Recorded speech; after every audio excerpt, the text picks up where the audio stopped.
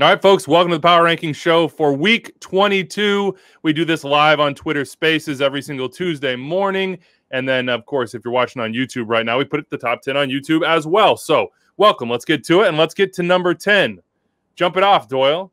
DC United up three spots after beating the Philadelphia Union, who drop out of the top 10. This was a big win for them.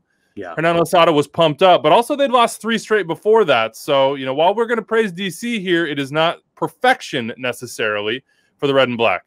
No, it, it's not. But I, I think I, I would argue that the, the, the drop off from Bill Hamid to uh, to to Jon Kempin is maybe the, the sharpest drop between starting goalkeeper and, and, and second string goalkeeper in in the entire league. And I think you could you can pretty much put all three of those losses uh, at the feet of of of that that gap between Hamid and Kempin. So I, I think that that there, there were noise in those results. Um, there's a little bit more signal in the underlying numbers for DC United, and the underlying numbers really like this team. Um, and we they we saw why against Philly. Uh, Jim Curtin said in the in the post game, like we haven't had our asses kicked like that in about three years, uh, and he's right. Like DC from the first minute, we're just all over the Union, um, stretching them out. Uh, you know, horizontally, being able to get behind them, great finishes like the one you're seeing right now. If you're watching it on YouTube from from uh, Yordy Reyna, multiple runners in the box. Losada has this team playing uh, the type of vertical pressing soccer that we've gotten used to from from the Red Bulls, but playing it infinitely better than the Red Bulls this year. And they're offering more in terms of build up play, combination play around the box, and honestly, just pure aesthetics. Uh, it's been a lot of fun to watch. It's not just all vertical and, and smash. Um, there there are some there's some real ballers in this side, uh, and getting them healthy, guys like Edison Flores, Ramon Abila, and of course Ola Kamara is having a monster year. It's fun. I have a lot of DC United stock. I don't think this team's going away down the stretch, even though they've done dealt with a ton of injuries. Like you could tell probably from you know how, how long I'm going on here. I really, really like this yeah. DC United team and how Losada's got them playing if you have not heard Hernando Losada speak about his team and sort of wax poetic, go check out Extra Time. We had him in the last couple weeks. It's it's all a blur for me, so I don't know exactly when that is. But go scroll through your podcast feed. He, you know, I think they've used 27. It might be on 28 or 29 players at this point. They haven't done it with Edson Flores with the DP that was supposed to be the game changer for them. He's yeah. coming back. He's back with Peru. You see him enjoying himself once again. Uh, what stands out to me though is it felt like he could have lost this team early. Mm-hmm. It felt like the way he came in and just sort of like ripped out the foundation and said, "Hey, what we were doing, what DC was doing, is not the way that I am going to do it, and I know the better way." Uh, was there was a possibility it was going to rub players the wrong way, which I think it did, and then it also led to a lot of injuries, and there could have been and a lot of outgoing people, let's say in the uh, in the sports health side of it for them. Mm-hmm. That could have been a disaster for Hernan Losada. It ended up not being a disaster, and I give him the credit for that in showing them the vision showing them that it could work, sticking with it, not wavering. And then once you start getting results and you start playing the way that they're playing, which, you know, look, if you're quote unquote kicking the ass of the other team, we all know how much fun that is. We all know how much that brings you together. And I think back to a scene a couple weeks ago where final whistle, dramatic win. He's got the guys on the team. You know, he's got uh, Arriola. He's got Kevin Paredes, who's become a massive piece and may not be there for long. He's got, uh, I can't remember who else it was. It might have been Ola, it might have been Flores, whoever it was, giving him hugs after the final whistle this feels like a group that just inherently believes in what they're doing. And in yeah. Major League Soccer, if you can get to that point as a manager, you are probably going to make the playoffs. Yeah, it, it, it certainly seems that that way. Now, um, it's, it's still not a given, right? Because they're in, in seventh place. I said I said probably for a reason. Yeah, yeah, you're, and you're right. Um, and, and the big the big thing I think from here on out um, is making sure that that Ola Kamara stays healthy. And now, granted, they have Ramon Abila now, they have Nigel Robertha, who they signed this offseason, who they like quite a bit. But Ola has been the difference maker for them over the course of this season and managing his minutes, making sure he doesn't pick up a soft tissue injury. Because, like, look, man, if he plays throughout September the way he's played through, you know, from June, July, and August, we're talking about a guy who's like a dark horse MVP candidate at that point. He's been he's been remarkable. Um, so they have to keep him healthy. That has been the big thing with DC United this year. The big drawback is all those soft tissue injuries.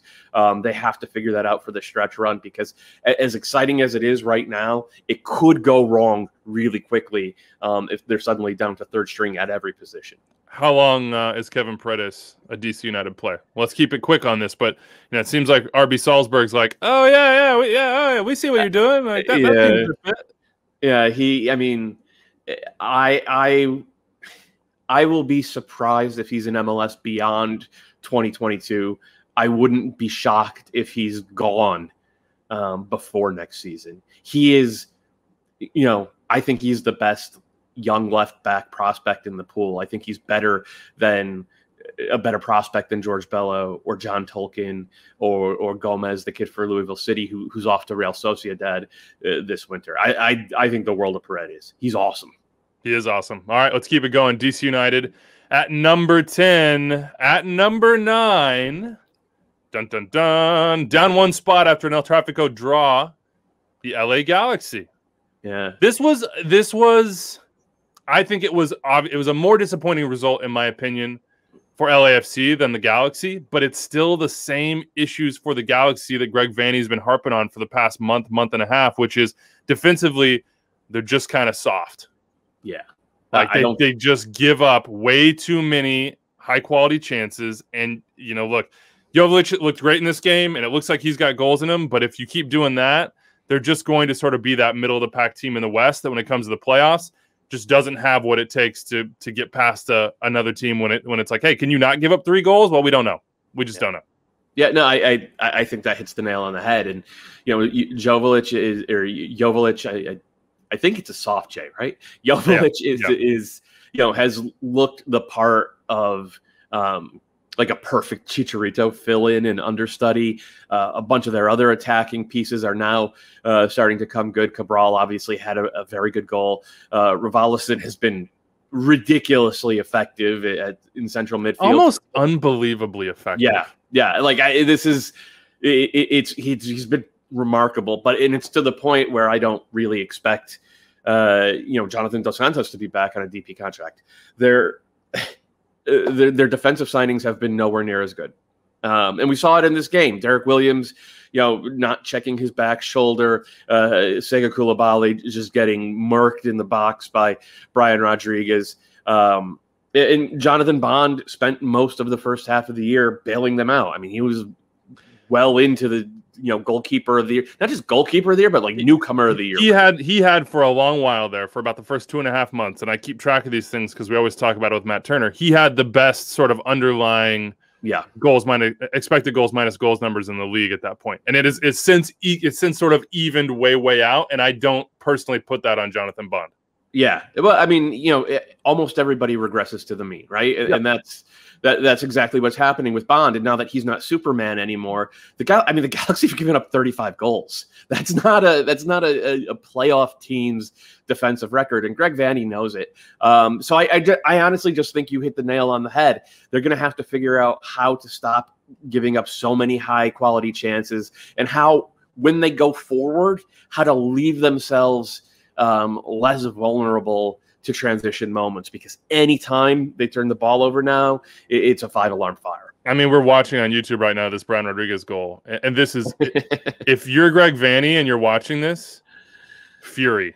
You have to just you have to. And I, I thought his quote after the game was super interesting, and he was like, "Look, it is what it is, but we are going to be watching that and knowing it was us on highlight reels for 20 years, and then." He actually has personal experience with this. He brought up a 97 game against the Wiz were they the Wizards at that point, whichever, uh, where Preki like shredded LA. And he's like, I watched that for a literal decade. And I know that we're going to be doing the same thing here. We're now seeing Joveljic with these nice little finishes, one with the left foot and one with the little flip over the top. Uh, we've talked about an extra time, sort of him and Chicharito sharing the stage in a two forward system. I, I don't personally see that happening very much. Same. Same. Probably just because Chicharito's not going to be, it doesn't seem like healthy for extended periods. Yeah, I, I mean that, and I just don't think. Like, how does that know, work together with the pieces they have? They're, the other pieces are like to get the best out of that center forward. You need Grandsir, you need Cabral, you need you know, legit. You need Raveloson and probably Dos Santos. You need all these different pieces and effort to come in and change the game off the bench, etc. I just and don't know that there's fact, room. The simple fact, Wiebe, is that you don't see two poacher style center forwards yeah. playing together in in any team in any decent league in the world anymore. I'm, I'm trying to think about the last time I saw it, and it it just doesn't exist. Now I'm sure there will be moments at the end of the you know end of a game where they need to throw the kitchen sink, and both of those guys are out there, but it's not going to be a regular thing. And Greg Vanney has wanted to play, he wanted to play a four two three one in uh, in Toronto for a good long while. They didn't have the pieces there to do that because it was always Jozy and Giovinco up top. Um, well, now if you look at the way this team has been built out, their signings, having Efra as a playmaker coming in from the right, they have a lot of pieces to go out there and play that sort of 4-2-3-1 or more of a 4-3-3 at times if Revolution uh, Raveloson is is uh, is more of a regista. So I I would not I would not expect to see a lot of Chicharito and and minutes together. It'll happen, but it's not going to be their default look. All right, we'll see what happens with Chicharito. It's good news for Greg Vanney and the Galaxy that they're off this weekend. Give them a little time to recover. They've got some international absences as well to deal with. They are number nine. Let's get to number eight. The Loons, Minnesota United. Smash that unmute button. Jeff Rueter, what's up, man? How you living?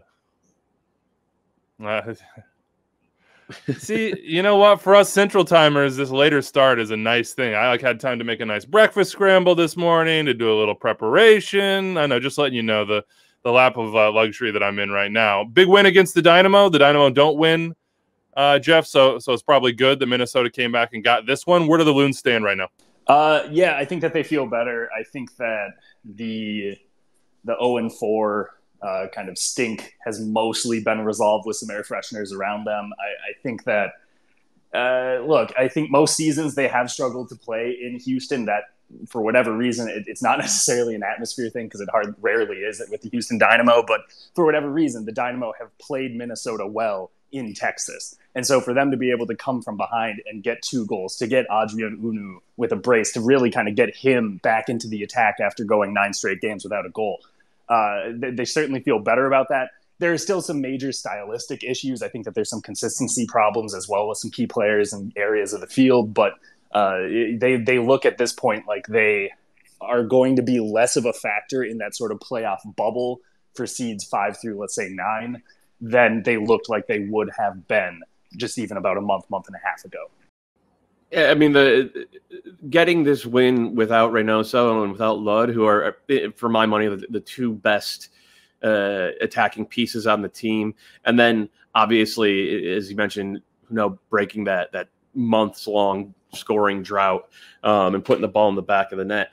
I, I, actually think that people are kind of sleeping on Minnesota at this point. They've proved defensively that they're very solid. And now um, they're going to have the pieces to I don't think they're going to be the very, you know, one of the very best teams in the league, but it's not far off that, Jeff. Yeah, it's not. But I also need to try to keep my keep in mind that this is the 2021 Houston Dynamo, right? And I think that any sort of any sort of points you can get away from home Major League Soccer always good. Any wins you can get on the road Major League Soccer always great. But mm-hmm. some away wins weigh more than others, and some naturally have to weigh less. And I think that you're still continuing to see home results uh, drop points against San Jose, drop points against Kansas City, uh, drop points against the Galaxy, where those are the games where you're not necessarily cementing your place in the top seven or top five, but that's where you're actually able to climb into the top four, which is where this team still wants to be after finishing fourth in the West over the last two years. Uh, you mentioned Reynoso and Lod. I completely agree with you two most important players probably on that team because you've seen greater depth in defense. You've seen players like Brent Kallman, like DJ Taylor step in and do well to fortify uh, along the back line. You've seen the midfield rotation, Will Trapp doing what Will Trapp does. Ozzy Alonso starting to kind of refine some of that form you saw in, let's say, 2019, not necessarily a Sounders vintage. And you're not seeing that same sort of depth or quality goal scoring options in the final third. And that's what's really holding this team back. It feels like 2019 all over again when Darwin Quintero had already checked out. Emmanuel Reynoso wasn't there yet. And they were really just trying to get a set piece or two to be able to advance in the postseason and ultimately came up fruitless that year. But uh, the balance is still a little bit off. I think that they're still incredibly reliant on crossing, despite not really having a crossing friendly roster. They haven't proven to be terribly good at playing through the center of the field. Uh, there was this interview that Ethan Finlay did with the Star Tribune last Just week on a gonna ask you about podcast. that, yeah, man. go on, go on. I was going to ask you. You said stylistic issues, and and Ethan sort of laid it out. He he basically said, and I'm paraphrasing here, that like they don't really have a set way to create chances, and it's it's sort of like, hey, just give it to to Reynoso, or Robin Lod's going to make some magic, and maybe that's what. Maybe that's why Hunou can't get the ball in the back of the net. I know he's had his own problems, but like, what did you make of those comments? Those seemed pretty pointed to me. Yeah, it reminded me of that Hey Arnold episode where there was that coach's kid named Tucker who kept getting the ball. Uh, I knew you'd like that one. Uh, yeah, I, I think overall it's uh, it's a big problem, right? And I think that you saw it down the stretch in 2020 with this team. The team wasn't really soaring. They weren't making it to the Western Conference Finals because Reynoso went supernova. He did, but they also had Kevin Molino who was doing the exact same thing at the same time, and so they had a second facilitator. They had somebody else where when people were glomming onto Reynoso, when they were you know taking him out from the shins, they could play the advantage. They could continue to go up the field with Molino, and they haven't had that player. They thought Franco Fragapane might be that guy, but he's been injured. And right now, they are really struggling to find that identity. I don't think that there was anything terribly unfair about what Finlay said, where you don't really know, like, is this a team that's a pressing team? Is this a team that is going to be, you know, just uh, playing up the wing and purposely trying to create those chances for a target man? They don't have a target man on the roster. They have Fernando Adi, but he doesn't necessarily have that same record of headed goals that, say, Kei Kamara does. So I think that there still is a lot of limbo about what this team actually is. But what they've proven to be is very good defensively, to have a good shape, to have really solid goalkeeping, a good resurgence year from Tyler Miller after getting that position back. But you need goals to advance in the postseason. And if opponents are going to be able to neutralize right Reynoso, uh, goals are hard to come by for this Minnesota United side. The Fernando Adi reference there just took me completely by surprise. I mean, I've seen, I've read it, I've seen it, I saw the pictures of him in training, and I still somehow can't quite believe it. Uh, wh- how did they get there, Jeff? And then we'll let you go. How do they get there? Like, they uh, injuries. I mean, they've they've continued to have uh, for the second, third year in a row a lot of uh, these muscle injuries and leg injuries uh, that are pulling a lot of players off the field. They, aside from Hunou, didn't have another center forward on the roster before signing Fernando Adi. Uh, they had a striker retire in the middle of the season. They nullified the loan for Ramon Abila, who's suddenly looking uh, like the player they expected him to be with DC. Go figure. Uh, and, and so they brought in Adi. And I think the difference between bringing in Kei Kamara last year was he was still scoring goals in recent seasons for Colorado and for Vancouver. Uh, Fernando Adi wasn't having much success in Ohio. And, and I think that uh, he had some really good interplay when he came off the bench against Houston. He had a uh, he actually set up the game winner, so kind of a second assist, if you will. I don't know if this league still credits those or not, but um, oh, you better believe we do. good. Just making sure those those should never go away. Um, you know, like he, he was starting to work into it, but it, it does look strange. It, it really does look like a uh, the point where you're restarting a video game save because that player just doesn't look right in that jersey. Um, so. You know, do I think that he's going to play a major role down the stretch? No, but it is somebody who can take some pressure off of Hunou. It allows him to not have to lead the line as much, which he hasn't shown to be good at. And it's just not really his game either. It gives him someone to work off of. Uh, but then at that point, you're taking off someone like Finlay, someone like Fragapane, someone like Lod, and the, Adrian Heath is just going to have to decide what's more valuable to this team setup.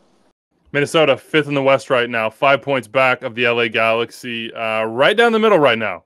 Zero goal differential, eight, six, and seven. They seem to be a playoff team. We got to find something uh, to inspire them in the attack. Jeff Rueter over at The Athletic. Read his stuff. Follow him on Twitter. You can see it on YouTube right there at Jeff Rueter, R U E T E R. Jeff, appreciate you, man. Yep, anytime. Yep. Let's go to number seven. Orlando City down one spot, a draw against Inter Miami. Doyle, uh, they've just kind of felt to me this season like they're just kind of maintaining, maintaining, maintaining, surviving injuries. Had a bunch of big ones. Some of those seem to be coming back here soon. I mean, I think Daryl Dike is starting to train, maybe close to full. Uh, Nani's sort of been nursing one, but Pato's coming back. You know, he's my newcomer of the year. But after all that, I say that they have 35 points their second. Don't even laugh at that Pato take, man. If he comes back, it's going to be something. 35 last, points. Last I saw, Pato uh, had a setback. I, I, oh I would my be, God, you kidding? yeah, I, I would be shocked if, if we. I mean, maybe I don't know what I'm talking about, but I, I'm not counting on uh, Pato. But we can count on, on Daryl Dike to uh, to be back because it's the final day of the transfer window in in for most of Europe, I believe, and there's been not a peep said about Daryl Dike that I've seen today. Um, and he did get back on the field for this one, as you mentioned. Uh, Oscar Pareja has just done a, a fantastic job of, of, managing this roster this year because they've had as many injuries as anyone outside of like the Sounders and and Columbus, I want to say. Um, and you know, the, defensively, they have stayed resolute all year long. They're very difficult to break down. Um, they've gotten some good fill-in minutes in, at goal when, excuse me, when Gallese has been out. They've managed uh, defensively with with backup fullbacks essentially for most of the season. They've had to rotate uh, the you know the the deep lying central midfield. They're still not full there, and they have just been grinding out wins um, and grinding out points. And uh, obviously, they're disappointed not to get the full three here, but they played well. And I'm of the opinion that once they have their their full squad available, the draws like this will turn into the full three points. And the other thing, it needs to be said that that I think Pareja has done exceptionally well this year is to start managing Nani's minutes. Nani doesn't ever want to come off the field. I mean, Nani was hurt and he didn't want to miss the All Star game. Yeah. And and he was like, I have to be back to do the skills challenge. He's 34, 35 years old. It's incredible. He's 34, 35 years old, and he's playing in the Florida Heat, and it's just it's a challenge with anybody who has that mentality, but especially one who is your highest paid star DP to, to say, I'm sorry, man, you're not starting. You're getting rest this week because the stretch run, you know, being 90% fit for the stretch run is more than playing 90 minutes this week. Um, and so getting Nani to buy into that the way he has I like I'm very bullish on Orlando from here on out because I think they're going to be close to healthy come October and November. Um, and, and, if this team is close to healthy, then they are a legitimate threat to win MLS Cup. What is Orlando City at their best, in your opinion? Because I think there was sort of a time, and, and we might have finally sort of come out of it, where every time we thought of Orlando City, we were still sort of harkening back and and and trying to like bottle the feelings that we had during MLS's back when right. they were just oh, they were irresistible. Yeah. And it was like, oh my God, Oscar Pareja is just not only is he a whisperer in terms of motivation and organization, which we always knew from the Dallas and, and Colorado days, but he has this team playing an attacking style that maybe isn't always indicative of what his teams looked like in the past. But it sort of feels like to me that we're not going to get back to that high, but that he's going to sort of chip away and find a middle ground uh, I, where they could perhaps be effective in the playoffs. I just don't know they can get back to that particular high. Like Chris Mueller's not going to be back at that level. I don't think in MLS. He's going to be gone at the end of the season. He's going to rest Nani, so you're not going to lean on him as much. Your fullbacks aren't quite as adventurous, let's say, as they were during that period. Uh, you know, Daryl Dike, Maybe if Daryl gets back, maybe they get there. But I just, I don't know. I'm, I'm giving up a little bit on that Orlando City and and saying it's fine to settle for extremely effective, sometimes spectacular Orlando City. So I'm going to push back on that. I think the goal is to get back to that and have Daryl Dike come the playoffs. And I think that's the point of resting Nani. That's the point of they've reintegrated Moutinho and Ruan at fullbacks. And, you know, I, I assume that he's going to rotate and rest these guys as, as much as possible. And the idea, Wiebe, is to play the type of soccer that they played last year, last summer in, in Orlando at the MLS's back tournament, plus have Daryl Dike up top. Now, Mueller is, is a bit of the X factor because he was best 11 caliber last year. He has been nothing close to that this year. Um, and the other X factor is obviously health. And that's why, again, Oscar Pareja deserves a ton of praise for getting through this glut of injuries and really doing a good job rotating these guys and trying to make sure that Nani and, and Mauricio Pereira, who we haven't even mentioned, and Dike are all good to go down the stretch here. I'm with you on that. They have the pieces. I'm just not going to attach my uh, my emotional well being to MLS's back Orlando City. But by God, second in the Eastern Conference, 35 points. They are 14 back of the Revs, but at this point, you're just playing for home field advantage. Uh, let's get to uh, number six, Nashville SC. Jamie Watson, unmute yourself, my man. Up a spot are Nashville after a is it a derby win against Atlanta? Jamie, what what was this? Uh, it was an important win. It was a, it was a much needed win, and when I think the season is all said and done, and, and the chapter kind of closes of 2021 for Nashville SC, as they ran into the stretch of five out of six games on the road and the final 10 out of 14 on the road, this may be the moment where we look back and go, "This is where it all turned." And uh, it was a very important win. I think uh, not only because it it sort of kept Atlanta from catching up and being two points behind you, and you kind of get muddled in the pack in the playoffs, but uh, but also for the psyche of the club. And as they have this big stretch of, of road games, had they not have won, the doubt continues to creep. Now that you have gone, you've tasted victory, and you did it in a very convincing manner. I think that sets them up for a, a back end of the season that it was a win that they really needed.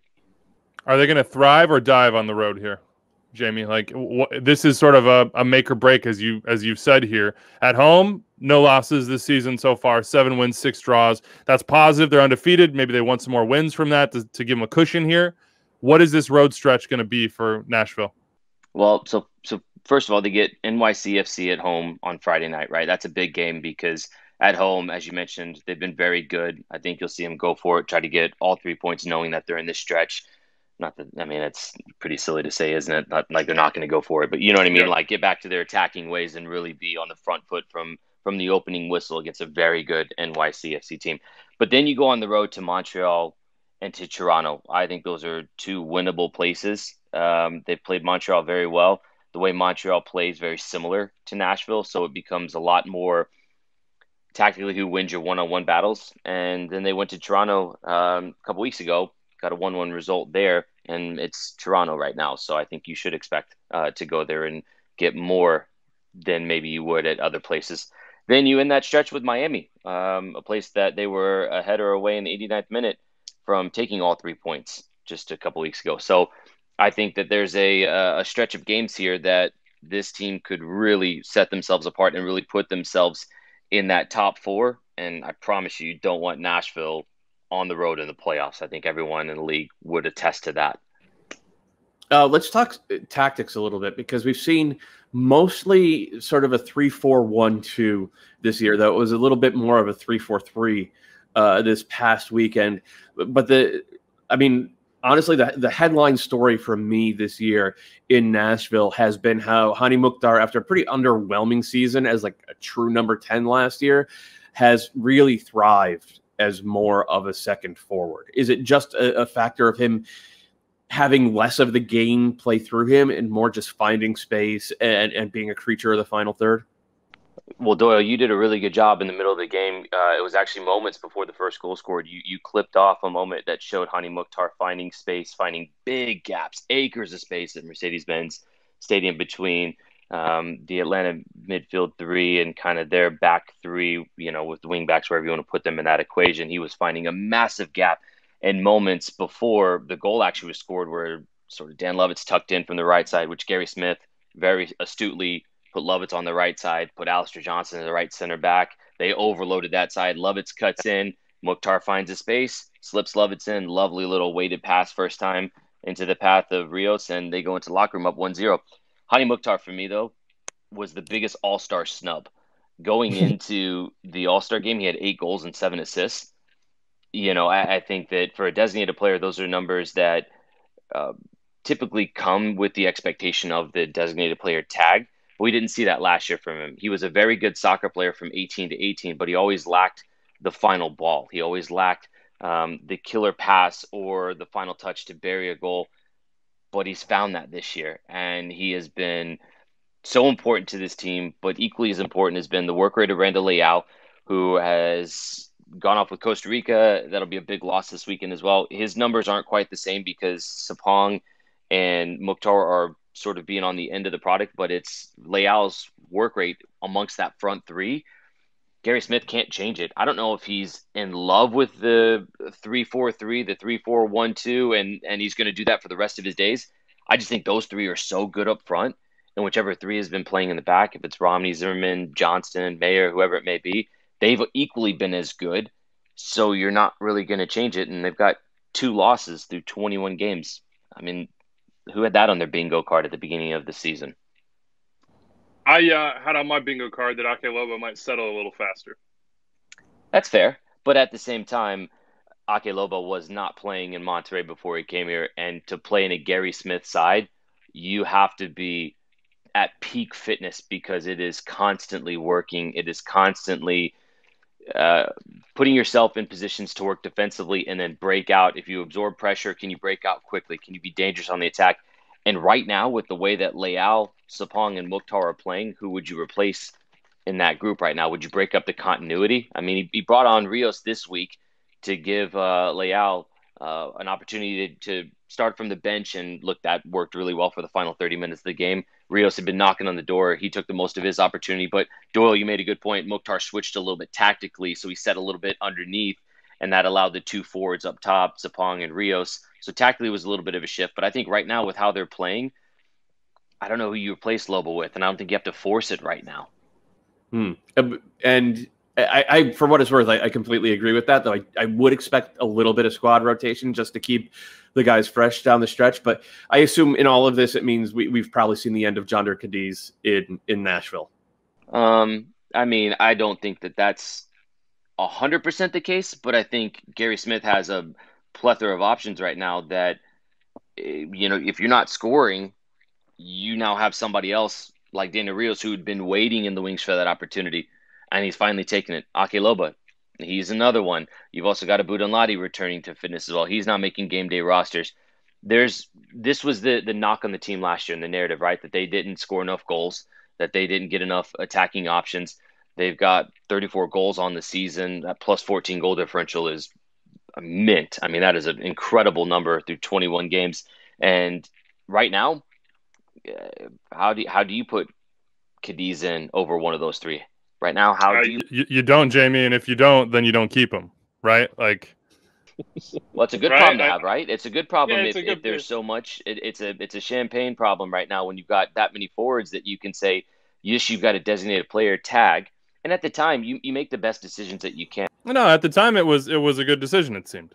We're just saying that at this point in time, it doesn't seem like that decision is going to hold. Yeah, and and hopefully hopefully they can avoid injuries and hopefully they ca- they continue this run of form where you've got very good players on the outside looking in. That's a good problem to have. And if they can maintain this run of health and and can get by without the key players that'll be gone for international duty on this tough road stretch, um, I, I, don't. I, I, think if this season comes to an end and Nashville find themselves in a home playoff game, I, I don't think there'll be any way in which you can't say with the way it was set up for them to have a heavy front-loaded schedule, which no coach really wants, and a heavy road schedule uh, road schedule to end the season, if they get in in that top four spot and have a home game, you'll have to really worry about playing them, and you'll say this team deserved it completely through and through. They've been nothing short of impressive this season. Nobody has fewer losses in the league with two, third in the Eastern Conference right now, but this huge game coming up. The first one of the weekend on Friday, 7:30 p.m. Eastern, Nashville hosting New York City. You can watch it on MLS Live on ESPN Plus from Nissan Stadium. Jamie, appreciate your time, man. We'll talk to you soon. Okay. Always appreciate it. Thanks for having me amongst these uh, wonderful cast of hosts and these wonderful listeners that listen in every week. Great job, guys. Uh, yeah, butter us up. Butter us up. I appreciate it. On to number five, we go. Marcelo Balboa. Unmute yourself. A legend here to talk Rapids, who have been absolutely legendary in both the way they've built this team and how they've performed over the last two and a half years or so. Uh, Marcelo, are you there, man? Mm, I hear some background noise, so that must be Marcelo. The Rapids with a 1 1 draw this weekend, which on YouTube, you're watching the highlights here. Might have been nil nil, might have been 1 1. I think maybe Jonathan Lewis got away with one with a little uh, handball, unintentional to bring it down on the first goal. And then I do not buy the foul call that led to Johnny Russell's free kick, uh, no matter what. And neither does Jack Price, by the way, if you're watching on YouTube. I hope you uh, hope you can lip read on that one. It's a very, very typical response from Jack Price. Uh, but 1 1 against Kansas City. While we wait for Marcelo, Doyle, uh, do we want to just heap some praise on the Rapids here? Because it is absolutely astounding uh, what they're accomplishing. We talked about Houston's payroll, given their, their mm-hmm. investment and their sort of like lack of DPs. They don't even seem to value that. Yeah, it's it's the Rapids way, right? That that famous uh, op-ed from a few years ago that that that Padraig wrote uh, in the local newspaper, and um, it, it's finally coming to pass. Well, it, I I would honestly argue that it came to pass last year, and what's what's happened this year that's so remarkable is Robin Fraser has been able to change the way the team plays because last year it was so open and they were one of the more flowing and attractive attacking teams in the league and they can still do that but they're a defense they're defensive team first uh looks sounds like we have marcelo here Yeah. Hey, boys. I'm, How you I'm, doing, I'm, buddy? I'm, a, I'm an old man who's trying to figure out a phone. Well, you know what? I have been known to kick people off and to mute myself and do all sorts of ridiculous things in the midst of these Twitter spaces. So, uh, give us your give us your take on the Rapids way and the 2021 season so far. Uh, we've been full of praise for this team for for a couple months now. But it, you know what? It should be. I think that this is a team who everybody kept on saying as of a few weeks ago that it's flying under the radar. Um, yeah, listen, we're not the LAFCs, we're not the Galaxy, we're not the teams that spend big money. But what Robin's done over the last two years has brought a winning mentality. He has brought structure. He has brought a team that's going to fight every day, every minute of the game. It's a team that has depth that if someone goes down, you can step right in and that guy won't miss a beat. So, you know, for me, this is a team that didn't play great the other day, let's be honest, but they're finding ways to get results. And I think that's that's the important part of an MLS season because it's a grind. It's a long grind. But listen, they get marquee wins when you go to LA and you beat LA there. You got a good result against Sporting Kansas City, who was number two. Uh, they're playing well at home. They're playing well on the road. Um, I said it before. Uh, we are no longer flying under the radar, and good luck coming to altitude and playing the Colorado Rapids. Uh, let me ask you this, Marcelo, uh, and I, I agree with all that. One of the one of the ways that I, I've I've sort of described this team to, to people who have asked is it's a team with no weak links. It, almost everybody in the say top 15 or 18 players that Robin uses is at the very least above average, but at the same time, um, there there is no star, especially when it comes to, to goal scoring. Is that going to end up being an Achilles heel for this team come the stretch run, come the playoffs when, when they're facing the Seattles of the world, or even this Sporting Kansas City team who they just got a very credible draw against? Um, there's no Pulido for this team. There's no Ruidiaz. Is that just the glaring, obvious lack for from the outside looking in uh, for for the Colorado Rapids side? Oh, listen, I think you always want a 20 goal score, a 15 goal score. But if you watch this team play, the way they spread the ball around well, they knock it from side to side. They're creating advantages. And, and we're talking about numerical advantages when you can isolate Barrios. And look how many times you've isolated Barrios throughout this year on a one on one matchup. Now all of a sudden you find a an Acosta or a Mark Anthony Kaye screaming through the box. So I think we all want a, a, a big name goal scorer. But in the way the Rapids are built, they're dangerous down the left with Galvan or who's ever playing there. They're dangerous down the right with Barrios. We've seen Jonathan Lewis now in a new role as a nine who's become very dangerous because of his pace getting in behind. Uh, tell me a team that's got a better threesome right now on a counterattack, the way Rapids drop and they counter quickly, that, that can match what they can do. So defensively, listen, you can send bodies, you can send them, and we yeah, you're right. We don't have a 15 goal scorer a year but we've got four or five guys that can be dangerous, and especially when you pick up a Mark Anthony Kaye, because you look at this midfield now between Mark Anthony Kaye, Acosta, Price, Bassett filling in, Mosqueda, it's pretty deep. So yeah, listen, it could be an Achilles heel, but I don't think it will be because this team, especially on set pieces with Price and Lalas and Danny, they're a dangerous team right now. They they are the the set piece performance over the last three years is remarkable, and um, they they should you know make a statue of Jack Price's right foot because his set piece delivery is just mind bendingly good. Uh, but so, given all that you've said, right, because you've, you've made a very compelling case, and obviously the play on the field has made a very compelling case, are the Colorado Rapids, you know, barring injury, are the Colorado Rapids uh, MLS Cup contenders? Yes, they are. I'll, listen, people say to me, "Oh, because you're from Colorado." No, I look at it objectively. We've had many hard years here, and let's just be straight up and honest. It struggled, But over the last few years, and I'm going to give tons of credit to Robin Toporek because Robin has come in and Robin has made it very clear what he likes, what he wants. He's very good at managing minutes with the players. And uh, and again, you keep adding more weapons. When you add a Barrios, a Mark Anthony Kaye, you got Yarbrough in the back. You start looking. Trusty's probably playing the best soccer that I've seen him play easily. Easily, and, uh, and pro, I think should be at least looked at as one of the candidates for Defender of the Year. Um, you know what? They are. This is a team that believes in itself. This is a team you can see it every day. They they know when they walk out on the field, they can score. They can score, and it helps. Listen, it helps having a guy like Jack Price. He'll give you a he'll give you a ring of within five feet. He's going to put the ball there every time. Somewhere in that five five foot ring, he's going to put it. Just attack it, and you put it in the back of the net. So, listen, yes, I, I think they are a team that can compete and that can fight for an MLS Cup. But I also think that we also have a candidate for Coach of the Year and Robin to give him credit because of what. And I've been here 25 years, boys. It's been very, very long time since we've had some consistency of winning games like we have since Robin's been here.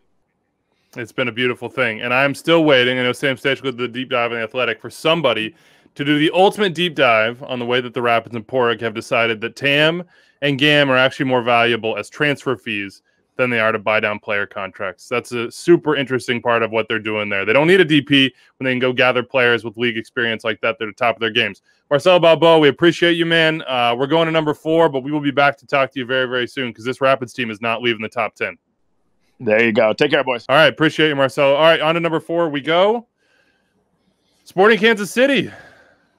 Wow, that, we start with a little highlight of uh, the Colorado Rapids goalkeeper here, William Yarbrough, about to watch a ball go in the back of his net because Johnny Russell is magic from set pieces. Uh, Doyle, where are Kansas City right now in your mind? They've sort of just hovered around this spot all year. They've been very, yeah. very good, but not sort of best in class good, I wouldn't say.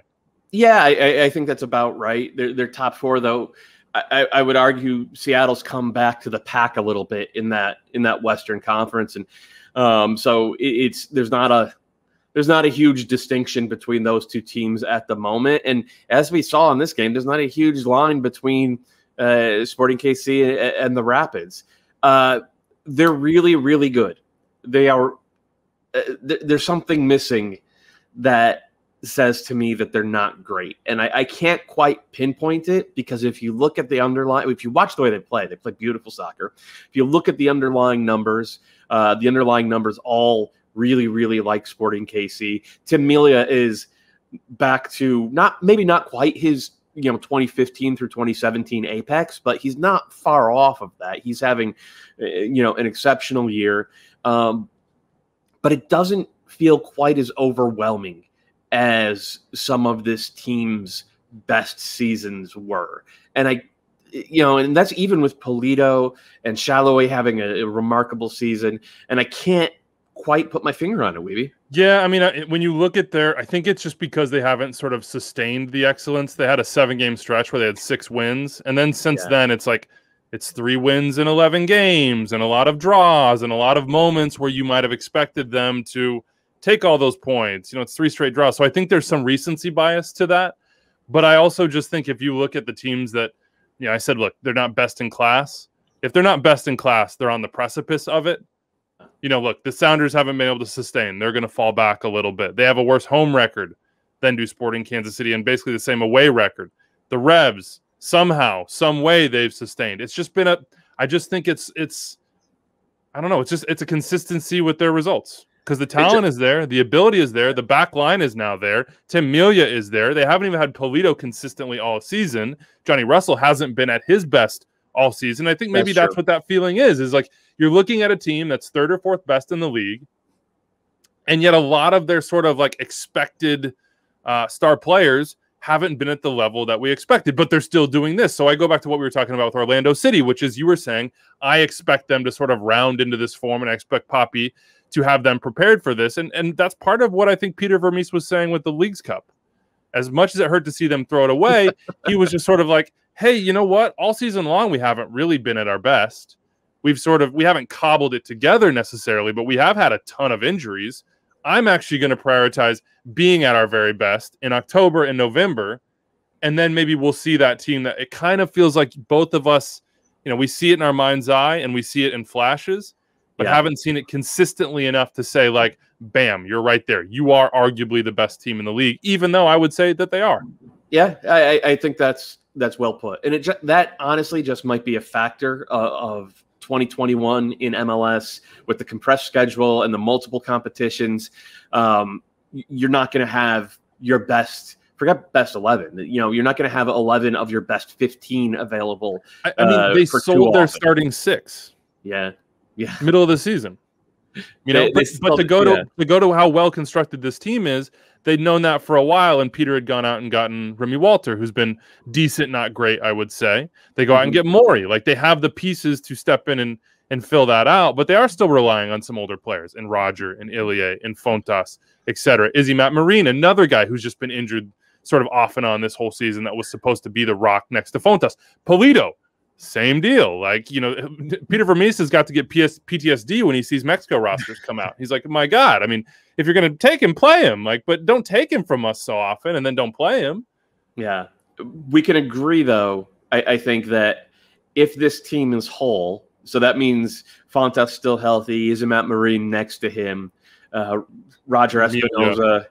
Uh, obviously Melia, but then it, it really does come down to that center back pairing of, of, of Fontas and Isimat-Mirin, and then Pulido being healthy and available up top. If they have that, and like most of the other pieces around them, this is an MLS. This is a, a top four team in the league and an obvious MLS Cup contender. Is, will be, et cetera, et cetera. They are, and they are, in my opinion, in the top three. Yeah. To me, it's New England, Seattle, and Kansas City. And then you have a second tier down that, that they're kind of scrabbling to get into, whether that be the Rapids or the Galaxy or Orlando or Nashville. Maybe NYCFC finds himself as a floater right now. But it is unquestionable to me that Kansas City are among the top three leagues teams in the league, despite them being number four in these power rankings and dropping. Look, you know, it's it's the draw. Again, they've got three straight draws, so there's some recency bias to that as well. But this is an incredible team. I would not be shocked if they were lifting MLS Cup at the end. Let's go to number three. And we've got uh, NYCFC right here. They got a big game this weekend, up two spots. They're up two spots because they beat the best team in the league on points uh, by a wide margin. The Revs at home, two nothing. I'm Team Tati, been Team Tati, Doyle, always Team Tati. Two goals in this one, but it's feast and famine sometimes with him. But when they're feasting, New York City are arguably the best team in the league. Yeah, I mean, you know, the underlying numbers say they are the best team in the league, and, and that the only thing that separated them uh, from from the top of the standings is the fact that uh, Tate Castellanos is as brilliant as he is at finding chances and, and being parts of build, uh, you know, build-ups that that create good chances. Um, he's left a ton of goals on the table, uh, and you know, the last time they played the Revs, Matt Turner was the goal, the player of the week, um, because he stoned Castellanos three or four times, including a penalty kick, uh, and that was just like a vintage Tati performance.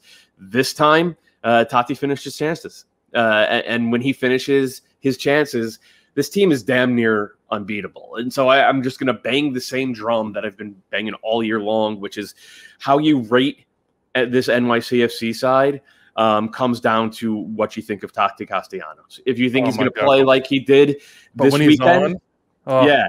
when he's We- on, it's irresistible. Well, but that's As the a- thing, Wiebe. like- he's on. He's on every week. He plays like this every week. The question is, is he going to finish? And you know, there, there's a a lot of data that says it's not an on-off thing uh, with finishing, especially with one-touch finishing. It's just like eventually guys regress to the mean in one direction or another. Now there is a really good thread that our guy Toodle Ramen put up yesterday on Twitter talking about confidence intervals in terms of uh, overperformance and underperformance with regard to expected goals. And in you know recent MLS history, there are only two worse finishers than Tati Castellanos: Andrew Wenger and Quincy Amarikwa. Uh, you know, and so looking at those numbers, you say, okay, that you know, suggests that he is as you know you are what your missed sitters say you are. Um, but then there's a huge volume of data that says eventually finishers regress to the mean. And in Tate's chance. Would he? He'd be. He wouldn't be regressing. He would. He would, would it be an egress? What would he, would, the... he would progress to the mean, but you oh, get yelled at by them. You why get, would egress be what I? Because you're about to egress to vacation. Um, uh, but you know, with Tate, I mean, it, it's one of those things that is going to be fascinating to watch because he will absolutely win you games, but then he will absolutely take points off the table with his inability to convert the type of chances that he converted this weekend. Has Ronny Deila got enough credit? No. no. Yeah, it just and, seems it seems so quiet around Ronny Deila and and you know every everybody's on the like oh man Bruce Arena builder of MLS Cup teams oh Peter Vermes you know sustaining success Oscar Pareja we went on a love fest with him earlier in this show. I mean, Brian Schmetzer is in sort of the this is the ultimate Brian Schmetzer vintage so far. But Ronny Deila, it's been so quiet around him, whether it be in praising the New York City style of play and what they do, or even just throwing him out there as like among the best coaches in the league. Well, those other guys you named all have trophies.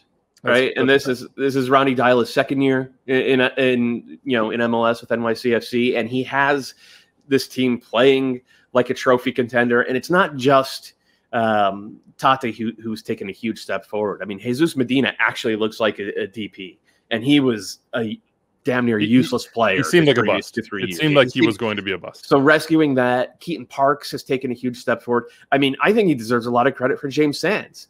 James Sands was not a good passer of the ball. He was really, really timid under previous coach and I mean, under Dome Torrent in particular, because that's who he got, you know, the most minutes under. Um, and if you look at him now, this game against the Revs, James Sands was playing as a regista. He, he was like he was doing the old Michael Bradley thing. He's not Michael Bradley's, you know, peak Michael Bradley level in terms of his passing range, but he looks nothing like the player he did a couple years ago. So the development of those young players with NYCFC, um, and then the level that they're perform the overall team is performing at, beating the, the, crap out of the Revs. And now, granted, the Revs are missing some, some very important pieces, um, but beating the crap out of the Revs in the way that nobody's beaten the Revs really this year, uh, Deila deserves a lot of credit, but he's not going to get it until there uh, until there's a, a, trophy in the cabinet somewhere. That, that's just the way it goes. Statement time. Going to Nashville on Friday, 7:30 p.m. Eastern. You heard us talk to Jamie Watson about Nashville and what they're doing. They have the fewest losses in the league this year. They're unbeaten at home. So this is a big one in the Eastern Conference. It's three and four, I believe. 7:30 MLS Live on ESPN Plus. Check that one out. At number three, New York City rising up two spots after knocking down the Revs, who are missing Carles Gil and Tajon Buchanan. We'll talk to Tom Bogert about them in just a second. We got Steve Zakuani here with us to talk number two. The Seattle Sounders, who stay right there at at that spot despite losing a rivalry match Steve, the voters must just love these Sounders. Tell me, uh, on a, on a disappointment scale of one to ten, where does this weekend's loss to to Portland at home rank? Uh, to be honest with you, I would say it's honestly no more than maybe a six. Obviously, you want to win that game because you're playing, but the bigger picture of it is you're still sitting in a good position. Um, your guys are getting healthier, so it, it didn't mean too much. I don't think so. Uh, one of the things that, that is starting to mean a bit is the the lack of goal scoring. And over the last nine games, um, if you take away that that six two drubbing of the Timbers a couple weeks back, Seattle's been shut out three times. They've scored more than a single goal in a game just once. Um, and, and, while the three five two, which is more of a three four two one now, while it's worked on a lot of levels, it has kind of left Raul Ruidiaz as the only man out there um, with a with a good goal scoring record from open play. Um, felt like Portland kind of took advantage of that this week. They they dared Seattle to to bang down the you know to bang down the door, and they weren't able to do it. No, that's, that's a very good point. And I think to, to be fair, if we talk just about Portland, in the last few times they've been up there to Seattle, they've played them very well. Um, Portland, I think, is at their best without the ball, sitting back on the counter. And when you give that team something to defend, which ultimately Seattle did, I think it becomes very difficult to break that team down. And Seattle haven't been that great this year at breaking teams down that sit back. Look at the home record for Seattle; it's one of the worst um, in the entire MLS existence. So there's something to be said for that.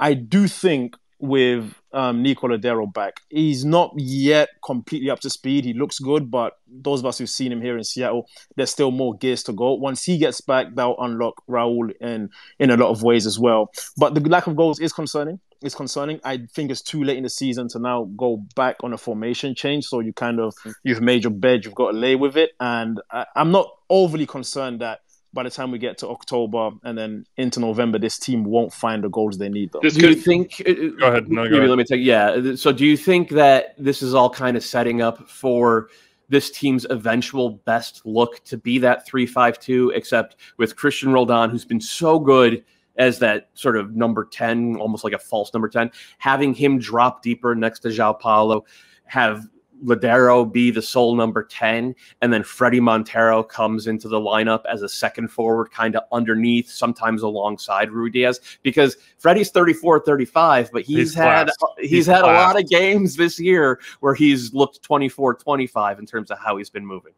Yeah, I think you're right. Um, I listen. I love Christian Roldan anywhere. To be honest, he's a fantastic player. But this team, at their very best, if you're talking about a one-off playoff game you have to win, he's got to play next to Joao Paulo. I think those two then become one of the better, if not the best duo in MLS as just two fantastic individual footballers. And then with Nico in front of them, that midfield three becomes very tough to play against. Montero, I think he's ahead of Will right now, but hmm. ironically, Ruidiaz plays better with Will next to him. He actually performs much better when he's next to Will Bruin because Will takes a lot of the hits. He can hold the ball up well. He then allows runners to go in behind. And the team actually sometimes has a better balance with Will Bruin there. But you can't argue that Fredy has earned those minutes as of now.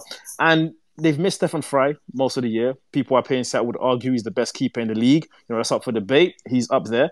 And then also Nuhu, who was playing at a best 11 level for me for the second year running. He's not been there for a long time. So once those guys get back and up to speed, there's not many weaknesses in this team. And then you now start talking about depth with Brad Smith and Medranda on one side, and Alex Roldan has been fantastic. Kelyn Rowe has been a good signing. So I think the optimism here in Seattle is because we know what this team can be when everyone gets fit and where they are now in a lot of ways with the squad they've had. They've in some ways overachieved. It's to me when I'm watching this game, and I know the Sounders are losing it, and they they did lose it, but it's sort of absurd to me the guys that just sort of cycle off this bench, and either guys that maybe you thought it was kind of over for, that maybe the motivation was gone, or maybe the time was gone for, like Kelyn Rowe might have been one of those guys, and now he looks like this just sort of dynamo. then you have Will Bruin that can come off, and Fredy Montero comes on, and, and it's just it keeps going for them. There's waves and waves and waves, and you mentioned that there's still more to come. I mean, Leo Chu got introduced at halftime of this one. Jordan Morris is, I believe, Stephen, like full training and, and could be an impact player for this team either down the stretch or maybe even the playoffs. Steph Frei, we, we think he's going to get back. How much could this team change personnel wise in the next couple months? Yeah, you're talking about still missing for sure two starters right now who will come back, and that's Nuhu and Stefan Frei for sure. Jordan Morris is much more of a question mark. You know, we'd have to see exactly where he's at, but that's someone who walks into this team. You know, it's the second he's fit, he's he's he's on the team as well. And you're talking also about Nico Lodeiro, who's missed most of the season. He's still getting up to speed. He looks good, but this guy can play even better. So three starters coming back who are, you know, all-star level players in this league. And I think you're talking about a team as well that's very well organized.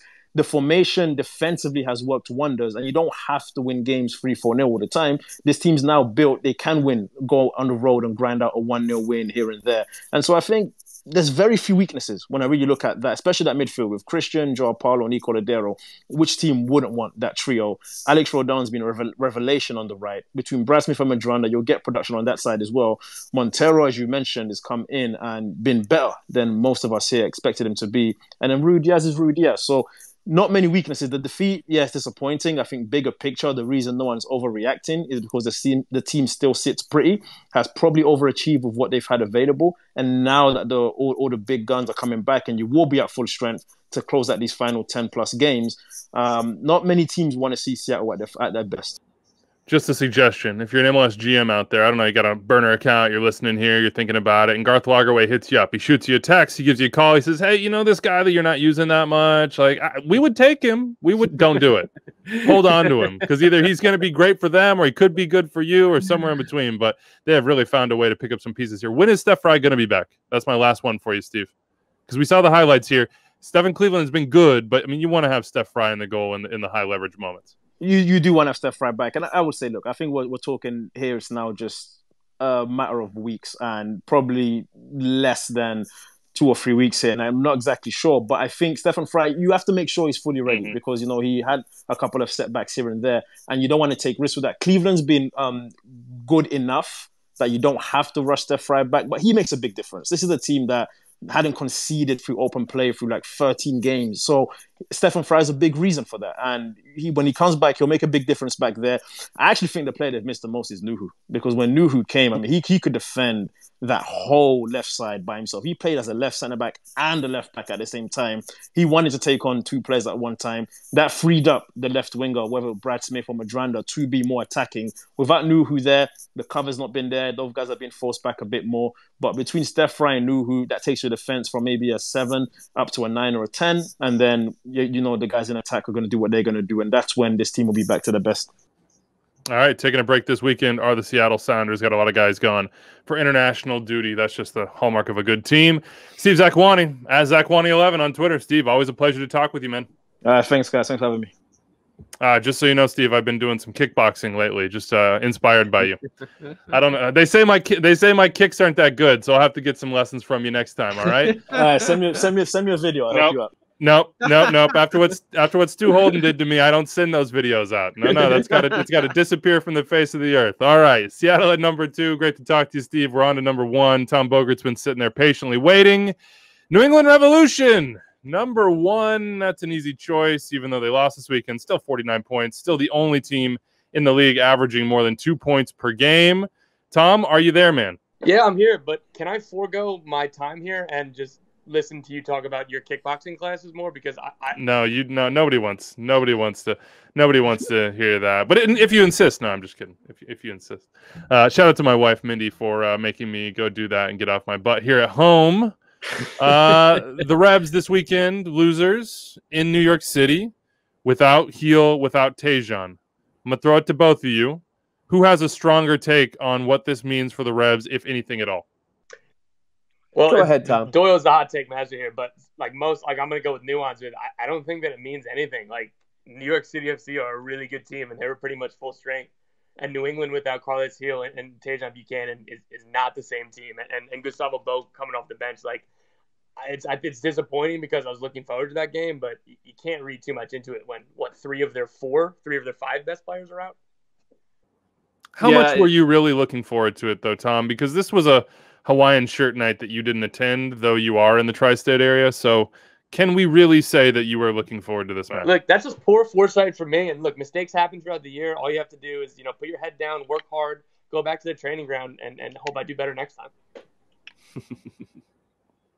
Doyle, what's your current uh, your current stance on New England, and do you uh, think we're going to see Gil soon? Because we see him climbing off buses, smiling he was either vacationing in Spain or healing up a hernia issue, a groin issue over the last month and a half. We don't know. We'll never know, probably.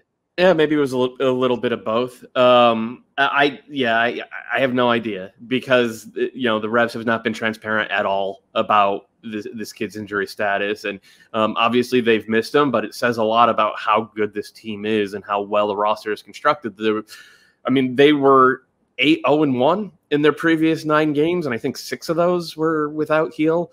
Um, so to to have that kind of run without the guy who I still have him atop the MVP rankings, um, but he's the difference between the Revs being a really good team that can go out and get results because they're dynamic in transition and because they have the league's best goalkeeper, um, and a team that can actually go out there and can control games against almost anybody in the league. The Gil is their Lodeiro in that sense, and um, he's been just incredible in the final third. It needs to be said though, the other piece missing from this game uh, was Matt Polster.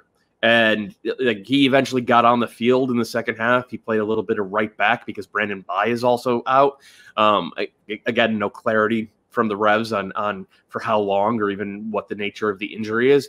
Uh, but Matt Polster has been low key one of the very best defensive midfielders in the league this year, and I think it goes back to the discussion that we had um, about Orlando, about you know Sporting KC, and, and you know about just about every contending team in this league is like Bruce Arena has had to manage injuries and absences, and the the the goal is to obviously to for the Revs, if you're sitting in pole position, the goal is to get that supporter shield, but it's also to make sure that you don't overwork your team to the point that they break down. And, and Bruce has done a pretty incredible job of that in 2021, and it's why even after you know all the absences that they've had, they still, I mean they have eyes on their first ever supporter shield. This team has been around since day one and they got the logo to prove it.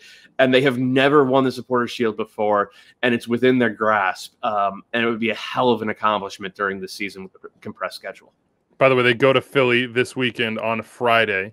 You can double box that one with Nashville, New York City on MLS Live on ESPN Plus. Those are two really, really big matchups in the Eastern Conference. Philly trying to figure their way back and survive a little bit here, and New England just trying to keep thriving. They're six, three, and three on the road right now. You want to tell us anything about Tajon, uh, Tom, or Club Bruges and the amount of scouting they're doing on Major League Soccer? Yeah, um, they've they've definitely been involved heavily. Um, obviously, signing Tajon, they were um, they had a deal that was really close for Diego Rossi that kind of fell through late. You know, it, it was something that was you know final stages or, or whatever. I, I, don't know exactly what the hurdle was or where it tripped up, but that it was something that you know I don't think that it was a Tajon or Diego situation because both like their interest in Tajon has been for months and months and months, and they were close with Tajon while the the Diego Rossi deal was being discussed. So that just shows that they really and truly do like not just scout MLS, but they're they, they value the talent, and, and I guess that they see maybe a market inefficiency, if you can call it that. I thought that seven million plus, you know, sell on clause for Tajon Buchanan is fair, especially with New England being able to keep him for a few more months. Um, so I'm not sure how much of an inefficiency that might be, but they're at least realizing that, or one of the, I guess, premier teams that are realizing that the performances and the talent can transcend to Europe, and, and you can look at these performances and kind of get a pretty good gauge on, on the player and the competition for where he'll be going. Tom, you mentioned Tom. Diego Rossi, um, the the move to, to Club Bruges that fell through. Now there's talk about move to Fenerbahce. Uh, clock at this point. It's it's fully graduated. I think Fenerbahce is tweeting it. So do we have do we have the the official transfer fee number on that? Um, this one is is pretty complicated. Um, it's technically going to be a loan at first with the expectation to purchase, and I know that sounds weird and vague but um, you know the LAFC are planning for him to not be coming back, uh, to say the least, and more so than they were with with Brian Rodriguez because they're the way it was described to me is that they pretty much already kind of put this off. And and what I can say about the fee is nothing direct, but but I can say that the Club Bruges deal was around eight to ten million, and if they were accepting eight to ten million, you know, a week and a half ago, that should give you a good idea about what the ballpark of where this fee is from Fenner. I am uh, hugely encouraged by clubs like Salzburg, like Bruges, coming in and expressing a lot of interest for MLS players. And I think this was always going to be the first step. And feel free to jump in and, and correct me, Tom or Doyle, if you if you disagree here. We all want to see sort of direct to Big Four, Big Five league transfers uh, from MLS players and homegrown players. But I'm very encouraged to see sort of those like clearing houses in mm-hmm. Europe, the ones that bring them in at five to seven or even less and sell them on for 15 to 30 uh, decide that this is a market that they really can make some hay on. That to me, th- those are skilled practitioners in the market. We may not be quite there yet as a league, but those folks know what they're doing, what they're talking about, and and what players are going to translate down the line, and what players will thrive in in their environment and then be worth a lot more. Uh, I am I'm hugely encouraged that those are the type of places that are interested in MLS players right now and are making those moves. And I just think this is the beginning of what's going to be a whole hell of a lot of fun for people like Tom to do the work and for people like me to sit back and enjoy it. So uh, I'm I'm hugely encouraged and uh, also uh, encouraged uh, by the quality in this top ten on the power rankings. If you guys have anything else, we can talk it. If you don't, let's call this thing good. What do you think? I think we wrap it up. Wrap it up. Here's your top 10 for week 22. You can find the full 27 at MLSsoccer.com and the MLS app. Number one, New England. Two, Seattle. Three, New York City. Four, Kansas City. And five, Colorado. Wrapping up the top 10 are Nashville at six, Orlando at seven, Minnesota at eight, LA Galaxy at nine, and DC United at 10. They were the biggest risers in the top 10 after beating the Union, plus three for DC United. There are nine games this weekend. There is also a ton of action around CONCACAF and the world. World Cup qualifying starting Thursday, US, El Salvador, Canada, Honduras. Uh, pre-game before that U.S. game, they'll break down Canada and Honduras and talk the lineup for Greg Berhalter against El Salvador. Then the full post-game show afterwards on all the MLS channels.